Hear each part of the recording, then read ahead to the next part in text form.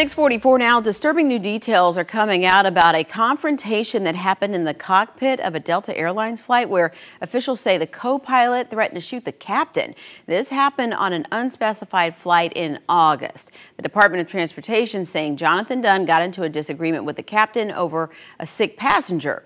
Dunn allegedly then told the captain he would shoot them multiple times if they diverted the flight.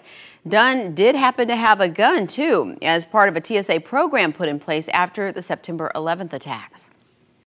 We need to take a hard look at the oversight program relating to the people who command airplanes in cockpits. Dunn was indicted by a Utah grand jury last month. Delta saying he's no longer with the airline but declined to offer further comment.